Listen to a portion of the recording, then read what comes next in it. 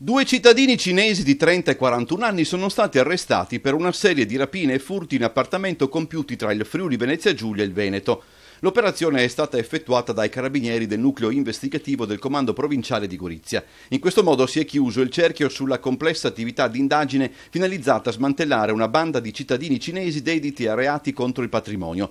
Le indagini avevano permesso di arrestare già nell'agosto del 2018 altre sei persone, sempre di nazionalità cinese. Le due ordinanze di custodia cautelare in carcere, emesse dal GIP di Venezia, sono state eseguite a Torino e a Gorizia. Alla coppia di cinesi vengono contestate tre rapine in appartamento, tra cui una a San Pier di Sonzo in provincia di Gorizia e una a Mestre, e otto furti ai danni di connazionali. Nel dettaglio, le due persone arrestate, secondo l'accusa, hanno avuto un ruolo di primo piano nel contesto di una rapina effettuata in una fittacamere di Mestre, dove erano alloggiati numerosi cittadini cinesi, tra cui proprio i basisti della banda già arrestati nell'agosto dello scorso anno. Gli indagati nel corso dei loro raid criminali usavano armi da fuoco e da taglio, coltelli alla malunga, accette e macete e non esitavano a usare violenza sulle vittime che venivano imbavagliate e legate con fascette di plastica. L'indagine si è rivelata particolarmente complessa in considerazione della ritrosia delle vittime a denunciare alle forze dell'ordine le rapine e i furti subiti, nel timore di subire ulteriori gravi ritorsioni.